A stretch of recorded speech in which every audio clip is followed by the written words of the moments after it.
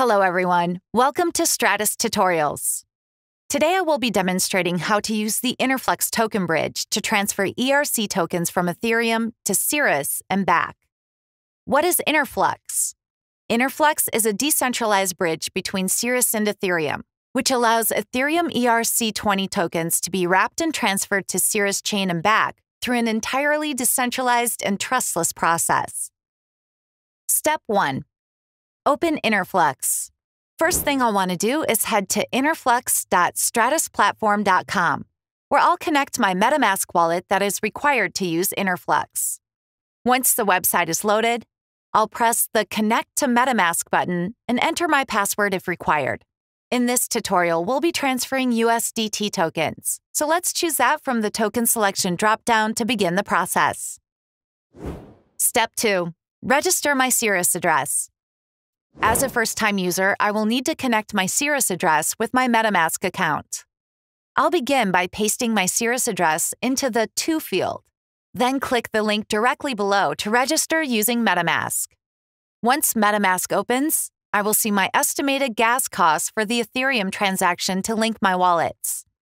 This only needs to be done once and will require a small amount of Ether tokens. After reviewing, I'll submit the transaction by pressing the Confirm button and wait for it to be submitted, followed by a final confirmation. Success! My Cirrus address is now linked to my MetaMask wallet. Step 3 Enter amount and submit. Now that my wallets are connected, I am ready to use Interflux to transfer my Ethereum USDT to Cirrus USDT tokens. I'll click into the amount field and enter the total I want to transfer, then click the transfer button to submit. Once my transaction has been sent and confirmed, it will take a few minutes for the tokens to be available in my Cirrus Core wallet. Let's head over to review my balance and see how we can send these tokens back to Ethereum. Step 4. Using Cirrus Core. I've already downloaded and restored my wallet using Cirrus Core. So next, I'll open it up and head over to the token management page to view and manage my token balances. I can see my updated USDT balance, and I can see the Interflux button to transfer them back to Ethereum when I need to. Step 5 Transferring back to Ethereum. Clicking the Interflux button for USDT tokens will bring up a transaction window that I'll use to initiate the transfer of tokens back to Ethereum. Up top, there is a transfer fee that is paid to the Interflux multi-sig nodes to cover the gas cost of the cross-chain transaction.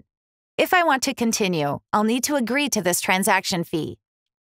After agreeing to the fee, I'll type in the amount of USDT I want to send back to Ethereum, followed by my ERC20 address and wallet password.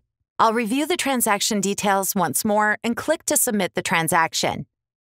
Once the transaction is submitted, it may take up to 10 minutes for my tokens to show up in my MetaMask wallet. That's it. We've successfully transferred USDT tokens from Ethereum to Cirrus using MetaMask and Interflux and covered the simple steps to move the tokens back. Thanks for watching Stratis Tutorials. Until next time.